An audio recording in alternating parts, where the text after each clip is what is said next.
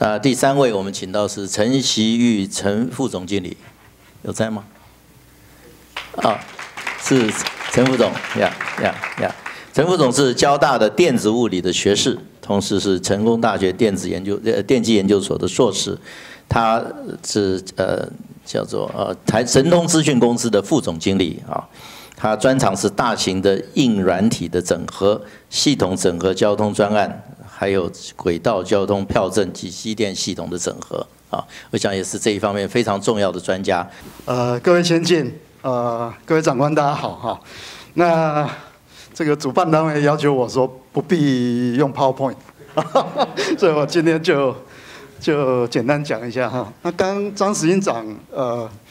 其实哈，他是我们这个轨道工程业界的这个系统工作的先驱了哈。那一直都是我们都是在他的这个领导之下工作了很久哈。那杨副局长啊，这边把。那其实把我们业者哈的一些商机跟我们的痛苦也都讲出来了哈。那所以我就简单来说明一下哈。神通公司啊，在一九九零年代哈就进入这个呃北捷的这个轨道系统哈，轨道公正的系统。那时候啊，就是有一个事情，就是马特拉公司在木栅线。营运了两个月之后，因为合约的问题，啊，就无预警的就撤离台湾了。好，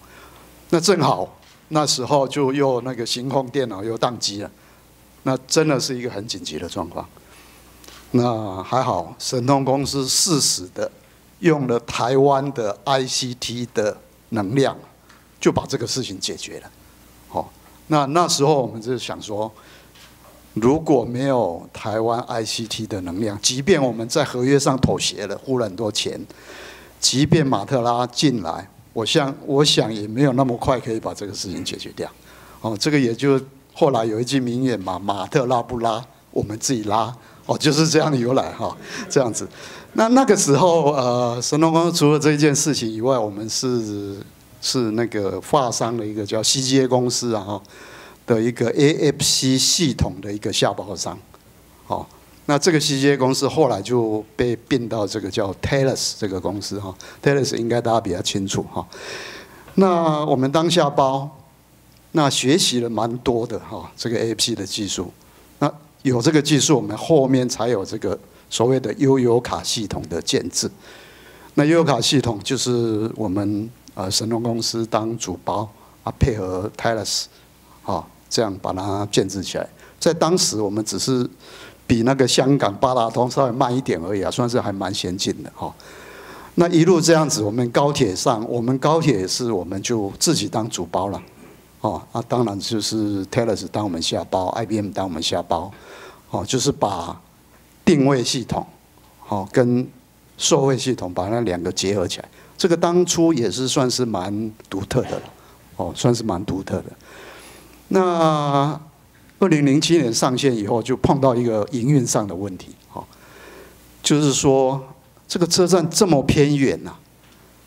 我怎么买票？不能急急忙忙到车站再去买票啊！这个这个问题要解决，所以就有网络定位的这个这个系统就就出来嘛，哈。那只有定位啊，没有拿票啊，那怎么办？那就后来就有那个超商 QR code 支票。啊，就出来了，好，那透过超商来卖票，这个也不方便啊。后面就有那个 QR code 的 T Express 手手机的 APP，就出来了。那这一路的过程，其实就是验证了，就是刚各位长官讲的，就是说，我们从啊跟国外合作，然后国产化，哦，然后精进。哦，然后就是可以有很多智慧的应用就会产生。那也因为这样，我们后面的这个所谓多卡通啦，最近政府在推的多元支付啦，哦，然后要导入那个 mobility as a service mass，好，这个就是这样一路我们就是自己可以做。好，那最近我们在东南亚五个国家哈，也推我们的那个票务系统，还算蛮成功的啊。所以这一路走来，就是说这个模式啊。我们其实在轨道的呃核心系统上也是可以来用的哈。但是轨道核心系统有一个比较不一样的地方，就是说它是蛮复杂的哦，技术深度也比较深哦。然后有一个更特别，就是说它是一个 fatal 的，致命的啦哦，所以我们不能随便实验哦。所以这边就是让我们有困难。刚刚这个 张呃张张理事长这边讲了，就是说，哎，怎么我们呃角度好像有点慢哈？呃，其实就是因为说这个是是比较是飞头哈，所以大家的角度脚步会比较慢。所以我们的建议了哈，就是说在国产化这边哈。我们其实是可以去盘点一下，哦，哪一些部分我们是可以国产化，哪一些部分我们其实是不适合的哈。比如说，在捷运的这些比较飞头的系统，其实已经世界上已经竞争非常激烈了，有很多成熟的的系统，我们再进去其实是拿不到好处的了哈。所以这个部分我们其实是也不应该贸然进去了。那倒是我们觉得说，这个轻轨这边，哦，因为轻轨的这些比较核心的系统，哦，它的技术能量啊比较低，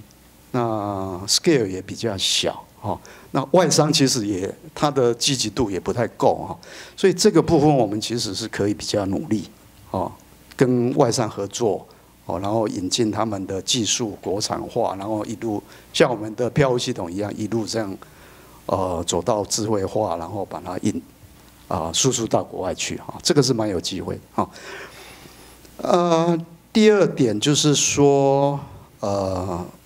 提升产业的参与机会好跟意愿的这一部分呢哈，这个是蛮仰赖政府这边的扶持哈，因为轨道这个领域哈，它的投入时间很长。哦，它的资金也必须要比较多哈，所以一般的小的厂商可能是比较困难哈，所以这个是真的有赖说我们政府单位哈，给我们多多的扶持了哈。那另外就是我们也比较抗胜的，就是说人才的问题哈。那 ICT 的人才，我看呃最近政府在鼓励呃的鼓励之下哈，也有很多的培养的计划了哈。但是我们现在比较觉得有一块啊，就是研发人才的培养这一块是比较有困难哈，因为知道各位知道现在 IT ICT 的人才哈是非常非常的诱因很大了，哦要把它 keep 下来，这个专注在这边做哈，一定要有特别的手段哈，给他特别的回馈，哦这个这个可能希望大家能够再想想办法啊，因为有时候这个核心的东西没有很比较。诶，人才哈的投入是是会会比较辛苦哈。那另外关于这个张子怡长这边讲的这个智慧化哈，这个这个我们厂商也觉得是非常好的一个方向哈。那我们认为说，我们台湾的 ICT 的产业哦，还有产官协，那另外一个很重要就是说，我们的运输业者哦。能够互相结合了，就是 I T 跟 O T 一定要紧密结合。那我们在这个智慧轨道这边一定能走出一片天空。好，这样，谢谢，以上。